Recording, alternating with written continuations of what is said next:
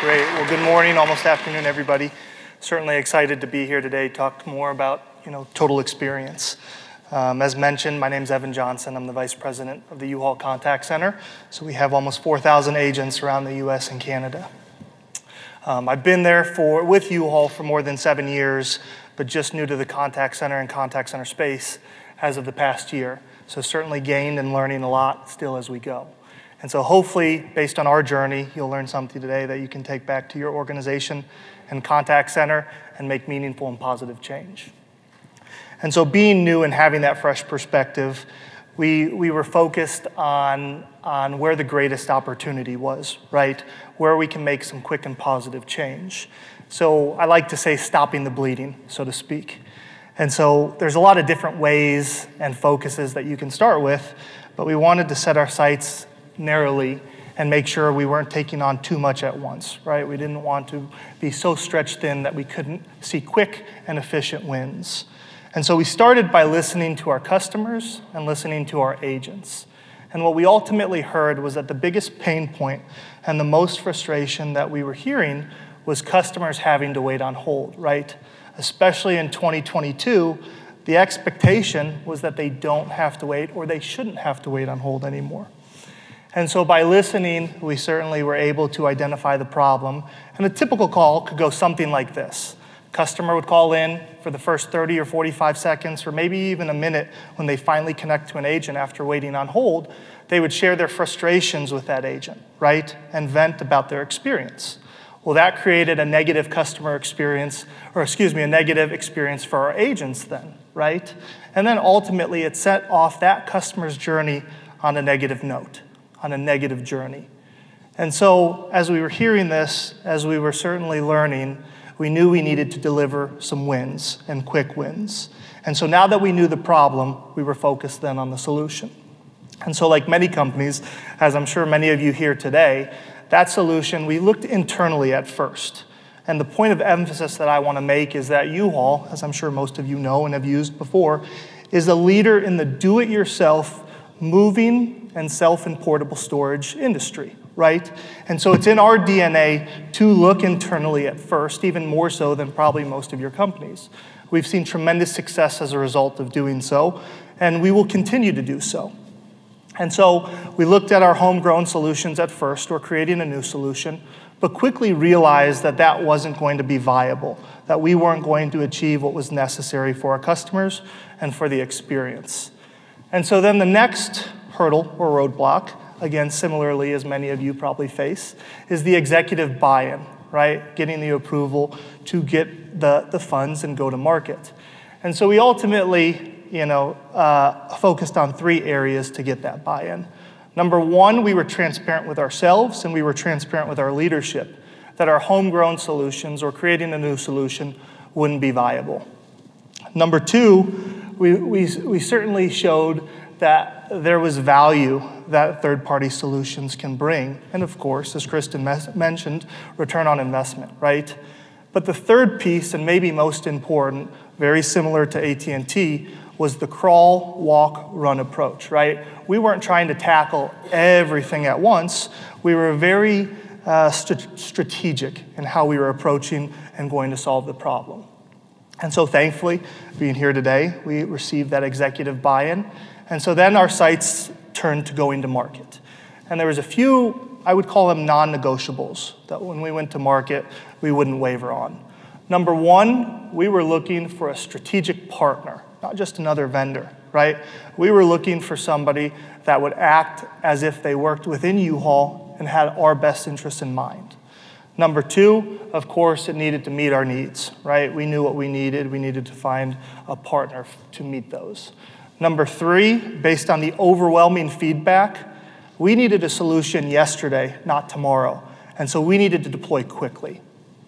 Of course, number four, we needed something that we could manage ourselves based on what was happening in, the, in, in that day, that week, that month. We needed to be able to pivot based on what our customers were experiencing. And then, of course, number five, a no brainer. It needed to work, it needed to be reliable. And so, through partnering with Mindful, we've been able to achieve some extraordinary results. We deployed in November of 2021, And since then, over 691,000 customers have requested, received, and most importantly, answered a call back from U-Haul. In turn, that's eliminated over 9,925 days of customers having to wait on hold. Certainly a staggering number in my eyes, and, and time that isn't spent in our queues. And of course, we've seen then obviously operational and performance metrics improve as a result. Increased customer satisfaction, decreased abandonment, et cetera, et cetera, et cetera. Of all of that data, though, what's most important in our eyes and at U-Haul Company is that we eliminated the feedback, right? We solved the problem, and we now don't hear that customers are frustrated and a pain point is having to wait on hold with U-Haul Company. So certainly a staggering win, and, and the total experience has changed as a result, right, as we've showcased. So then within our journey, where did we head next? Well, we continued to repeat the process, right? We kept listening to our agents, to our customers, and we kept trying to understand where that next pain point was. And so what we ultimately determined is that convenience. So like probably all of the companies in here today, of course, self-service options and improving those options is important and a focus for us. Now, there's a, a distinct difference, though, with U-Haul and compared to Amazon, Walmart, Target, right? Customers that use Amazon, Walmart, Target may use those hourly, daily, weekly. I think I get dings from my wife every day at this point about some new purchase on Amazon. With U-Haul, though, a customer who may rent today may not rent for another 6, 12, or 18 months. And so they're not building that same familiarity with our systems.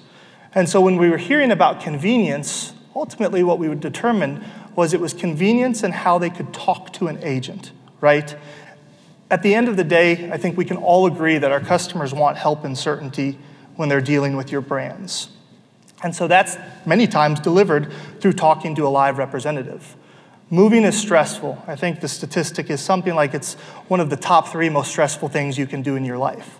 And so customers want to make sure when they rent equipment that it's at the facility that they selected, at the time they wanted, at the size or, or the product or services that they, they desired. And so with this convenience, we deployed Mindful Scheduler. On uhaul.com right now, as of a few weeks ago, customers can go on and request a call as soon as possible or schedule a call up to seven days in advance. So now what we've achieved is that customers never have to pick up the phone to receive a call from an agent on their time, which has been a huge win for U-Haul, again, our company, our customers, and the total experience. As far as our future, as, as we've heard today, our sights are still focused on customer feedback, right? And, and right now, we're heavily focused on our post-call survey. Unfortunately, as of the past few years, we had made a, a fairly weak attempt at a post-call survey, but we've doubled down and are really trying to gather and measure that feedback, but we're not stopping there. To us, what's most important is when we collect that feedback, actually making meaningful and positive change as a result. We kind of consider it closing the loop, right? We have operational and processes and procedures that will follow. So based on specific questions, based on specific answers, we can act swiftly to make positive change within the organization. One of the statistics that I saw recently was that 78% of customers will change the way they feel about a brand based on one single interaction with a contact center. That's certainly a staggering percentage in my eyes. And, and having run and, and actively running a contact center, certainly it shows the responsibility that we have as most other brands should feel, right? And so using positivity, using empathy, accepting ownership of the transaction, and setting every customer off on a positive customer journey is it's, it's what's most crucial to us. And so with that, I figured I'll recap our journey. I call it our recipe for success. Number one, we listen, right? We listen to our agents, we listen to our customers, and we gather that feedback. Based on that feedback, then, we attempt and, and are making meaningful and positive change. We're actively changing the employee experience, the agent experience, the total experience for the better. Through both of those things, we're building trust with our executive leadership team so that when we continue to push the envelope and disrupt and improve everything for our customers, we have the buy-in and goodwill necessary to do so.